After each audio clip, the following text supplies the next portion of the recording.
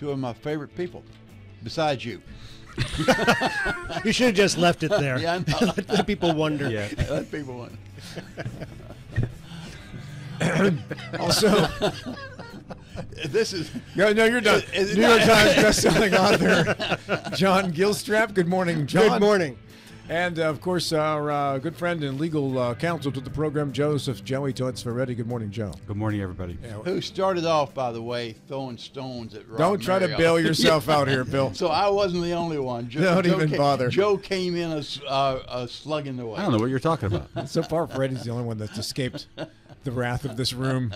The pregame show today was brutal, just brutal. Gilstrap got his Blood on the walls. Nobody was spared. Nobody was spared. Uh, in all seriousness, by now I'm sure you've heard the news that uh, Berkeley County Sheriff Nathan Harmon has tendered his resignation effective December uh, 27. We've uh, brought in Joe Ferretti, who's been part of our legal analysis of these uh, situations involving the sheriff's office, the Jefferson County situation, uh, over the past couple of months. Joe, thanks for uh, being part of this this morning. Oh, my, my pleasure. And, and well, it, you know, it's, I think you guys were mentioning it the other day on the show that this is one of the uh, more prominent stories for the year, perhaps Indeed. for the last few years. And uh, it's worthy of coverage.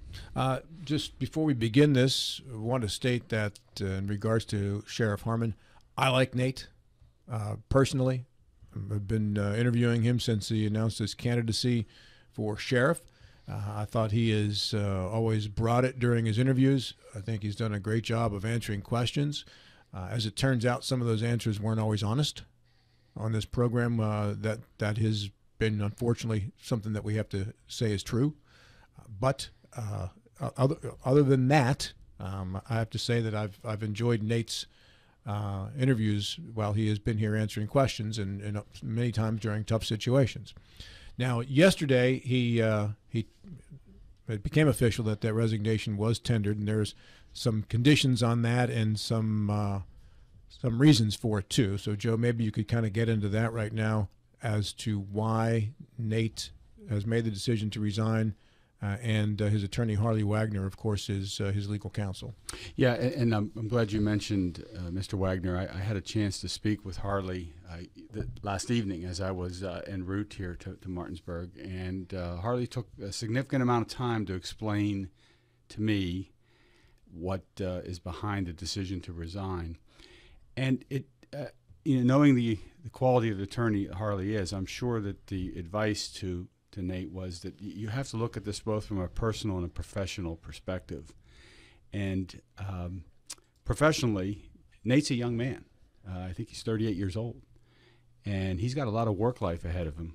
Uh, and he, I'm sure, had to think about that in terms of uh, what would happen if these charges that were included in the petition, the 667 petition, the West Virginia Code section, uh, if they were adjudicated and he was found to be uh, at fault or guilty uh, of those any of those charges, uh, professionally could be very damning and and uh, damaging in terms of his uh, long-term prospects for employment. So, I'm sure the calculus here was what do we do to preserve the ability to move on.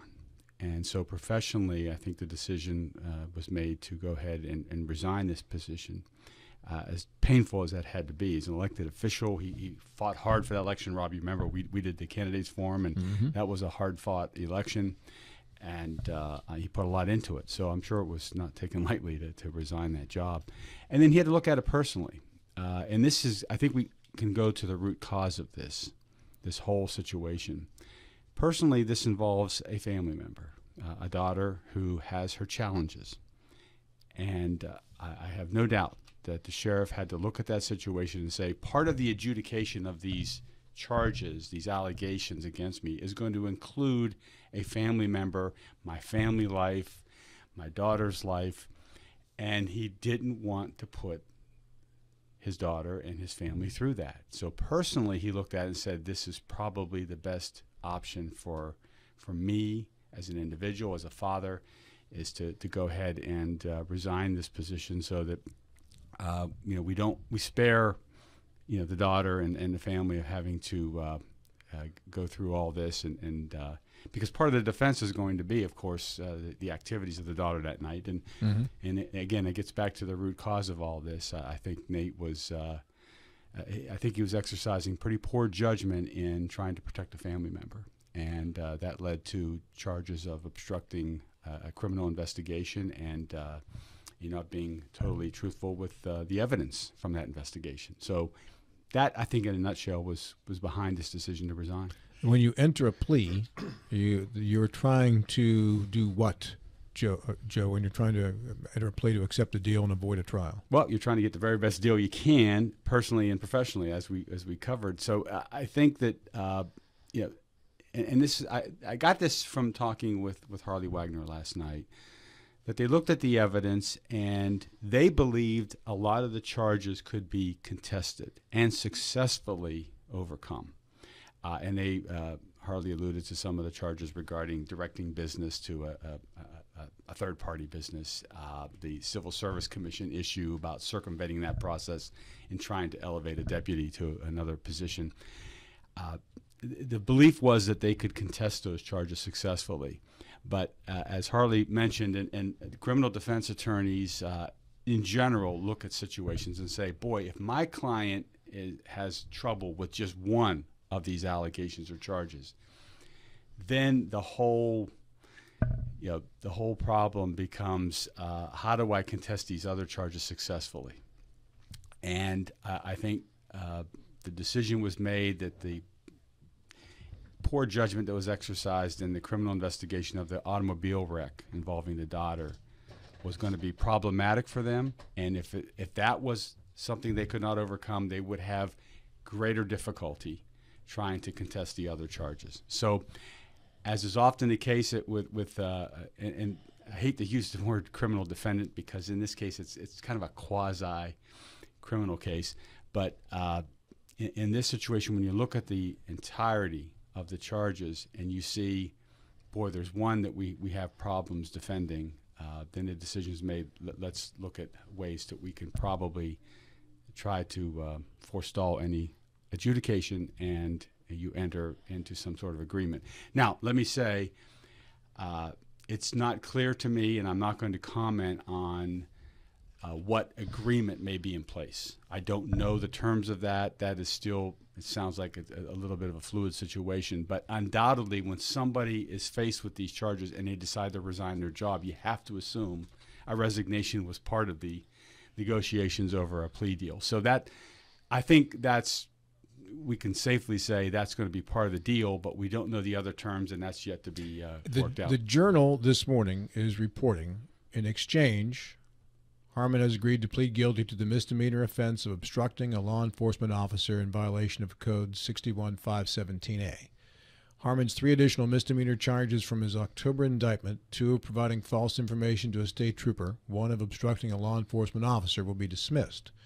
The state will recommend that Harmon be fined $500, the maximum fine for obstructing a law enforcement officer. The agreement will also require Harmon to provide a factual representation of how he allegedly interfered with Deputy William Henderson's investigation into his daughter's car crash in January, from which the criminal charges stem. And again, this is the article in the Journal this morning. According to court documents, Harmon's factual representation must include a statement saying he contacted former Deputy Matthew Larson requesting that he respond to the crash scene with a portable breath test before testing his daughter, finding that she had an alcohol concentration above the legal limit. Harmon allegedly did not share this information with Henderson, thereby hindering his investigation. Last month, Harmon plead, uh, pled guilty, not guilty, sorry, not guilty to all four charges. Harmon submitted his letter of resignation to the county commission Tuesday, and his resignation is on the commission's agenda for their meeting today, which I think begins at 9:30. Uh, by the way, Well, and let me let me caution folks. Uh, what the journal's reporting uh, seems to be uh, having more specificity than, than even I'm offering this morning. But uh, this is all pending uh, judicial it's- review. it's not been Uh, accepted yet. No, oh no, it, it has not. And, and uh, as we learned with uh, Hunter Biden, who supposedly had a plea deal worked out, you go before a judge, things can go haywire in a hurry. So uh, th- th- this is all still a pending matter and uh, yet to uh, undergo judicial scrutiny. A judge has to accept that. Like, is it Before- Faircloth? That, uh, I, I that believe he was that's just- been assigned to, to Judge It is. Faircloth. That's correct. Yeah, I, Joe, I, let's do a little bit more unwrapping. Uh, the charges were, were stemming from the special grand jury uh, due to the uh, uh, due to the daughter's accident. Then, subsequent to that, there were some uh, some a- uh, accusations made uh, by the prosecuting attorney and supported by the county commission of civil service violation and also s- uh, sending business to uh, uh, to the Summit Point, the group that he was working with. Uh, now, the the only thing that appears, I think, uh, that appears before um, uh, Judge Faircloth would be that of the special grand jury. That would be the original four misdemeanor charges. Is that correct? Yeah, that's correct. Uh, that- And then the other two never have really. Uh, have they been formally filed uh, in court? Well, I I mean, the charges you're referring to uh, regarding um, the steering of business Yeah. to the Summit Point, uh, and also um, the issue with the Civil Service Commission, all that is included in the petition. Uh, in the petition that yeah, that was filed by jointly by the prosecuting attorney Okay. and the county commission. Okay. All that is included in that petition. So, I suspect that the uh, negotiations that have been taking place and that the journal refers to now uh, will encompass all of those. That they'll, they'll all try to be resolved because they're all misdemeanors under the uh, under the West Virginia Code. So I would suspect that this will be an all-encompassing sort of plea deal if it is accepted by the courts. Would there have been uh, a possibility that some of the misdemeanor charges could have been upgraded to felony? It's possible, Yeah. sure. Uh, it could, because as these cases are pending, there's always additional investigations Yeah. taking place. Maybe people come forward with additional information, and it could uh, result in Dan Janes, who was the uh, Yes. the special prosecutor appointed, uh, that, that they could elevate those charges. What's what's the tipping? What's the tipping point for um, felony versus misdemeanor? I know that you steal something, there's a dollar value. That above the- a certain dollar value, when it comes to behavior, what makes the difference? Well, well, when it comes to behavior, it's really what the code defines. Uh, because the, our code, as is, is true in every state code, uh, there, there's certain conduct that is considered felonious. Okay, so uh, for exa- example, a battery on, on somebody, uh, if it's done with certain, if it meets certain intent requirements, like intent to injure or harm or or, or something like that, that can rise to a felony. So oftentimes it just comes down to the definitions in the code. So, but we, we'll be faced with a vacancy uh, on Mm-hmm. December the 27th.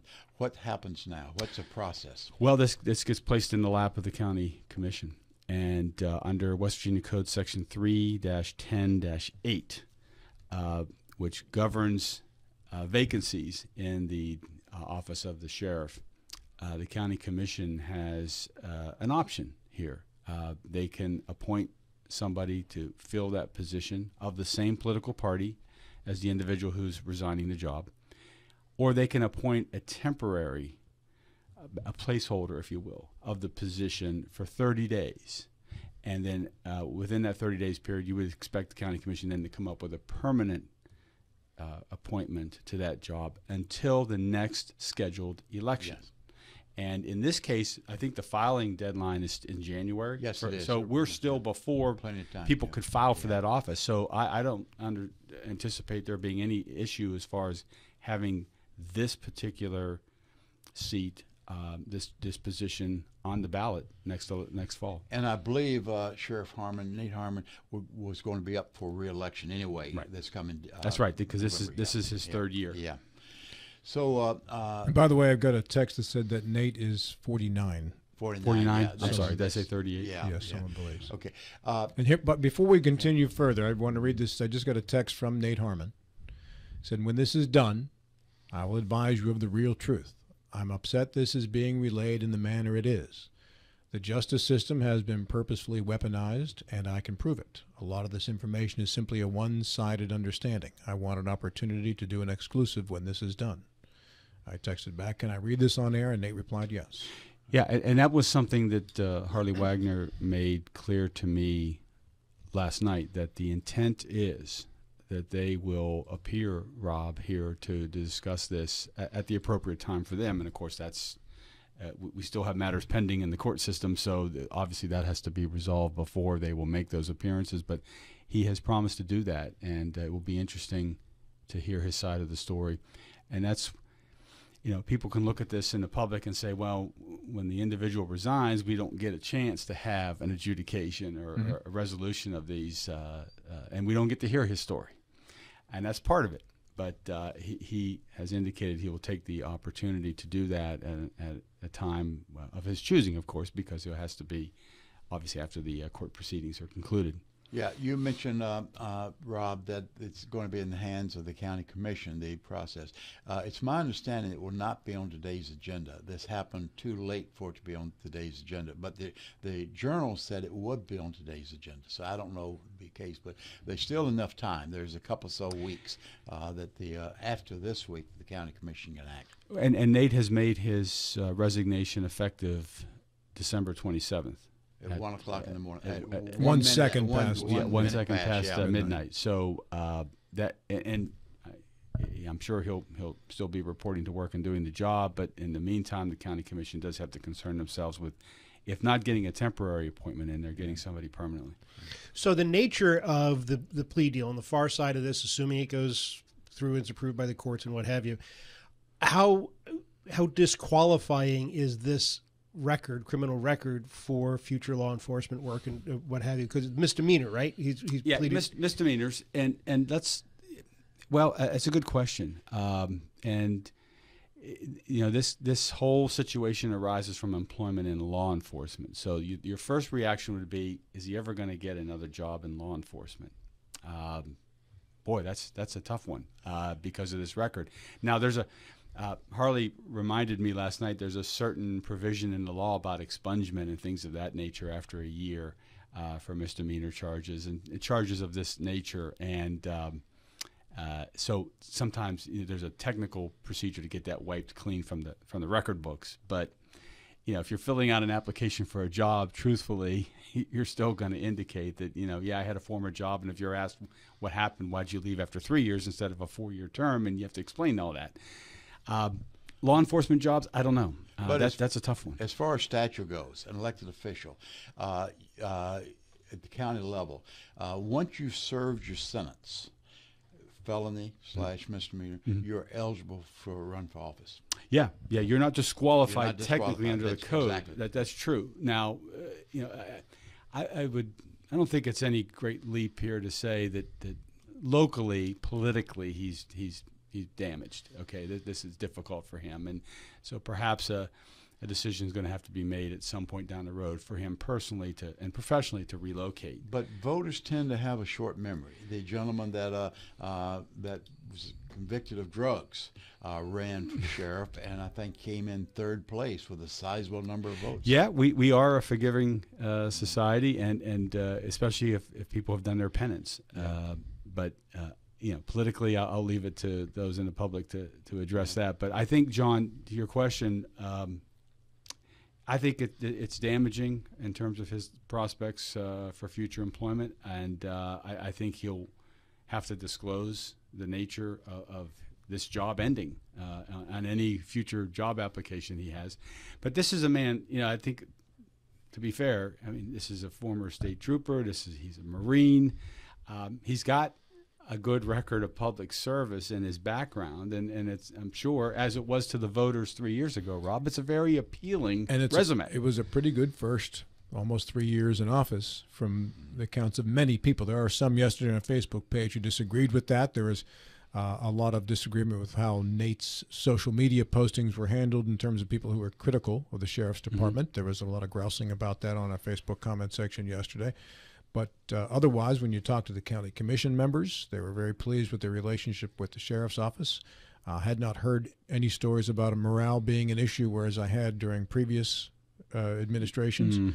And uh, otherwise, uh, from a budget perspective, things seem to be running quite smoothly. Yeah, uh, that was my sense of things. Uh, it was that it was being professionally run, uh, and we, uh, uh, in, in Berkeley County's history, we can't always say that uh, with regard to the sheriff's department.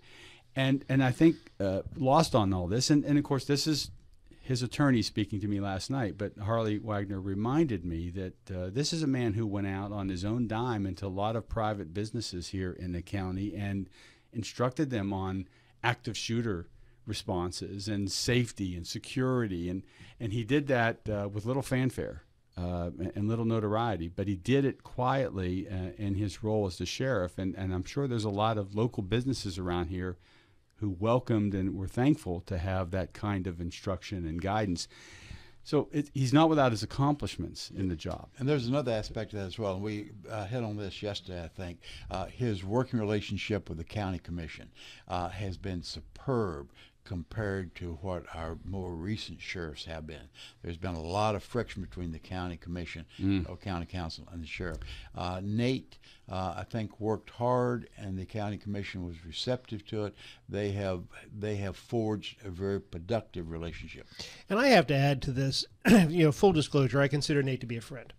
And of course, that's kind of a cloud over any other view of what's happening. And then you throw in the asterisk that, you know, there's a paternal instinct to to protect a family member, whether it's it's legal or illegal, right or wrong. You know, there there's an instinct there that that is um, to, to me, it's a qualifier on on all of this. Perhaps not from the legal standpoint. That's that's not my job, but in, in terms of of, I don't know that I would not have done exactly the same thing. In, in the same position, and and that's kind of a pall on all of this. That, that's fair, John, but I'll, I'll, I'll liken it to a situation that I see attorneys encounter quite a bit. Uh, when attorneys get called up on ethical violations, okay, we mishandle clients' money uh, for our own personal gain and things of that nature, and a lot of attorneys have been uh, penalized and punished for that and, and lost their license. The courts will look at the attorney and the judges will say, you know, in your position where you swear an oath to, to the state constitution and the United States Constitution, and you have a license to practice professionally, you have a higher duty than even the average citizen because of your unique role in dealing with the public. And you can look at Nate Harmon in the same way that we elected him to be the chief law enforcement officer of the county. And while we can take and have sympathy for his situation, uh, responding to a daughter's wreck and his daughter uh, allegedly being DUI and having to deal with all that, and knowing that the daughter has presented Nate with some challenges over the years, you can sympathize with that, but yet you can also be critical of his judgment in in not following the law. Mm-hmm. Which is what he's entrusted to do. And his duty and his standard that we have to hold him to is a little higher than the average person. Uh, if it was you and I responding to our daughter's DUI, I can imagine, you know, we, we would probably be in that same mindset. What can I do to get her out of this, mm-hmm. you know, and help her beyond this? Uh, but when he's in that unique role, it becomes a little bit more problematic uh, uh for him holding on to his job. I understand all of that intellectually. It's it, yeah, you know. It, it's just yeah you got, your gut tells you. Yeah. Yeah. And, and I, I feel that. And Joe the the Berkeley County prosecuting attorney's petition to remove from office obviously this takes care of itself in that situation. Yeah. Yeah it does. Uh, it, it, essentially moots that uh, that um, thank you for but, not saying mute by the yeah, way. yeah yeah. But moot. but but not the it does not remove the charges from the special grand jury no, well, again, Except that, three that, of the four may have been. Yeah, well, that that could be a part of of any plea deal that is being negotiated right now. But so, that'd be with a judge. Uh, yeah, that all be goes before the, the judge. judge for approval. Right, yeah, right. Because the grand jury didn't hand down those indictments; they're pending, and the judge is going to be asking when the parties appear before her okay, what are we doing about these charges and, and what agreements have been reached? And that's what's pending. Joe, you were here from the beginning when uh, we had Nate in studio and the crowd of 10,000 angry libertarians bombarding our comment section. oh, boy. yeah. And, and, and you, you, get it to this point. Uh, your thoughts uh, from A to Z on this one as we wrap up this Well, it, it, it, it's there's a tinge of sadness about the whole thing. Um, and, and, that's what's inescapable to me. Uh, and I, I, I, know Nate personally too. Bill, I sat with him uh, and his wife at, at your uh, Boy Scout mm-hmm. feet, and and, and uh, just a wonderful individual, as is his wife, and we had a good time. Uh, I've had, you know, we've interviewed him, Rob, in the studio here quite often because he's he is very open uh, and, and willing to come in and, and talk about things. So yeah, there's there's sadness about the whole thing, and and um, you know you can't escape the fact that he stepped over the line uh, with regard to a criminal investigation involving a family member, and uh, as John aptly points out, it, it it's it you know you you have sympathy for that situation and, and the predicament he found himself in. Uh, he, he just made a couple wrong decisions and he's paying the price. And it's about accountability, isn't it? And that's that's all we can ask of our public officials. And I think he, he has done the selfless thing by resigning his job, which has had to be uh, an exceedingly difficult decision to make. As I said when I opened up that segment, oh, Bill, did you have a comment? No, I was going to add on to what Joe said, and I agree with that point. I also want to, uh, as we've mentioned in the past, uh, applaud both the prosecuting attorney and the, uh, the county commission for not shying away from this issue and taking what I consider to be a very Yeah, it takes step. political courage Yeah, to do that, yeah. Bill. And you're, you're right to point that out. Well, I opened up that segment that morning as we had Nate on with the angry libertarians lurking in the social media content section and, and made the point that it was not my job nor desire to prosecute Nate Harmon, nor was it my responsibility to acquit him of any charges. It was just to get the information out there. And if Nate had uh, uh, needed a form to get his side out, we provided it. And Nate and his attorney Harley have expressed a desire to come back and get their side of this again in the future. We would provide that too. That's what we do here.